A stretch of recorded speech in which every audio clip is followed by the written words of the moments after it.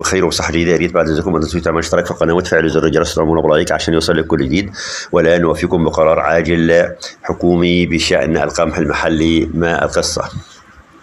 شنت وزارة التموين والتجارة الداخلية بعض الحملات الرقابية على مصانع العلافة والمزارع السمكية للتصدي لأي محاولات تهدف إلى استخدام القمح المحلي في غير الأغراض المخصص لها.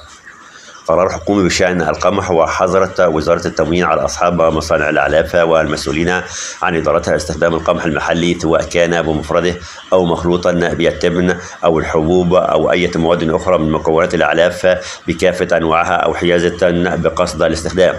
كذلك حضرت التموين في القرار الصادر عن الوزير علي المصلحي الشهر الماضي على أصحاب المزارع السمكية والمسؤولين عن إدارتها. استخدام القمح المحلي أو حيادته بقصد الاستخدام. وأكد الوزير في قراره السابق أنه يجب على أصحاب مطاحن القطاع الخاص المنتجة للدقيق الحر والمسؤولين عن إدارتها تدبير احتياجاتهم من الأقماح المستوردة ويحظر عليهم استخدام القمح المحلي أثناء موسم التسويق. إلا بتصريح من وزارة التموين ومن يخالف ذلك يتم تحرير محضر بالمخالفة واتخاذ الإجراءات القانونية اللازمة. من جانبه قال مجدي الخضر وكيل وزارة التموين إنه في بداية توريد القمح تم وضع سعر عادل جدا بالنسبة للمزارع والوزير علي مصلحي جعل توريد القمح اختياري ووضع 1500 جنيه للإرداب وهو سعر عادل جدا للمزارع مشيرا إلى أن وزارة التموين لاحظت أنه تم بيع القمح لغير الأغراض سواء للمزارع السمكية أو ما يستخدم كعلف للحيوان بسعر أعلى من المحدد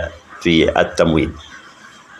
وأضاف الخضر في مداخلة هاتفية لبرنامج صالة التحرير على فضائية صدى البلد السبت أن قرار التموين بحظر استخدام القمح المحلي على أصحاب مصانع العلافة والمزارع السمكية هدفه استخدام القمح لأغراضه الرسمية موضحا أن الدولة تستخدم القمح من أجل إنتاج رغيف الخبز والدولة تتكلف مليارات الجنيهات كدعم للمواطن فكان لابد من الحفاظ على القمح وأن يورد الجهات المنوطة بها استلامه. وتابع أن وزير التموين أعطى تعليماته لكل مورد يورد القمح بأن يأخذ 10 كيلو ردة عن كل إرداب موضحا أنه تم شن حملة تفتيشية على أصحاب مزارع السمك ومصانع الألعاف وجد كميات القمح التي تستخدم في أغراض أخرى غير الغرض المخصص لها مؤكدا أن البعض يستخدم القمح في صناعة أعلاف الماشية والمزارع السمكية والحظر والعقوبات ستكون على أصحاب المصانع والمزارع السمكية وليس على الفلاح. وهناك أعلاف مخصصة للماشية والأسماك ولن تحدث أزمة كما أن القرار لن يشمل منتجي العيش الحر.